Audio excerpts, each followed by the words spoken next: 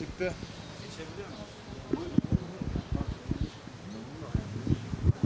Aynen abi arkasında.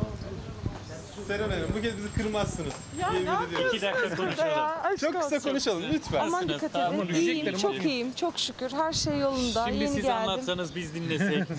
Neyi anlatayım ya? Sosyal medyada paylaştınız seni anlatın anlatın Öyle diye. hiç haberleri istinaden yapmadım, espri olarak yaptım. Hiç sıkıntı yok, her şey yolunda. Teşekkür Seren ederim. Hanım son olarak e, Kemal Bey'le aranız nasıl? Cem Bey'in oğluyla anlaşabiliyor musunuz? Görüşürüz, kolay gelsin. E, sinemayı sorsaydık efendim.